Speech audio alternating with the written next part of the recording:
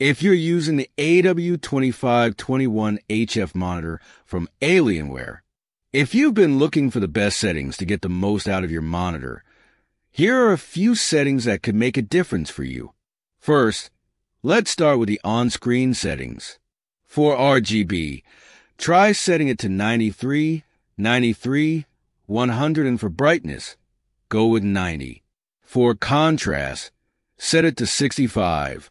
You'll also want to make sure the dark stabilizer is set to extreme to help with visibility in darker areas.